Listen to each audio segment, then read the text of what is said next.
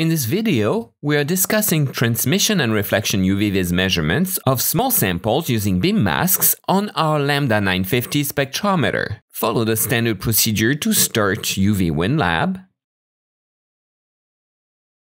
Connect to the spectrometer and start your experiment.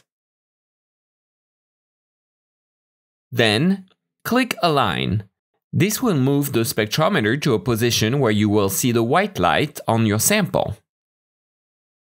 We have three aperture masks to choose from. We need to use the mask with an aperture as large as possible but smaller than the sample to get optimal signal. You can see that this sample does not cover the full opening of the largest mask, so we need to move down to a smaller mask.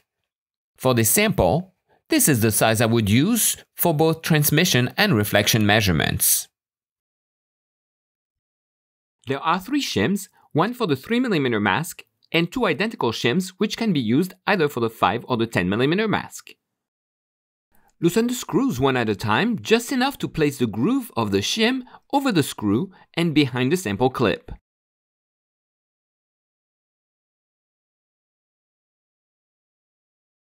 Just finger tight so it will not move. Make sure the clip is facing up. Do the same on the other side. Place groove over the screw and behind upward facing clip. Make sure the shim is level. Now position the mask flat side down behind the clips. Loosen the screws as necessary and tighten with a hex driver if needed. Do not bend the clips to accommodate the mask. Close the cover and perform the auto zero with mask in place and the reference in the back part of the integrating sphere. Put a small piece of tape on your sample so you can secure it in place. Grab a second piece of tape to secure the bottom, making sure the tape is not in the path of the beam going through the aperture. Finally, check that the sample is sitting flat and totally covering the hole. Close the cover and start your measurement. For reflection measurements, the setup is easier. Take the back cover off. We slide off the spring-loaded sample holder and reference, and the small black piece.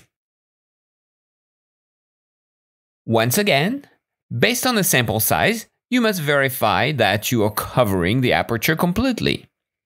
For this very small sample, we are needing to use the smallest mask. We slide the aperture on the rail all the way with the white spectralon side facing the sphere. For the auto zero, we set up the reference behind the aperture, so we slide the small shim in, followed by the spring-loaded sample holder, with the spring pushing towards the sample. Carefully place the reference on the shim, checking it is sitting flush.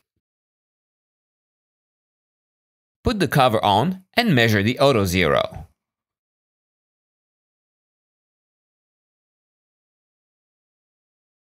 After the auto zero, remove the cover, carefully remove the reference, and remove the sample holder.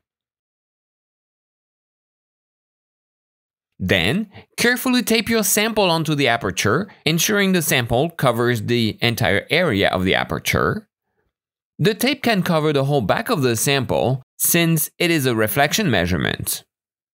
Confirm the sample is sitting flat, close the cover, and then hit start to do your measurement.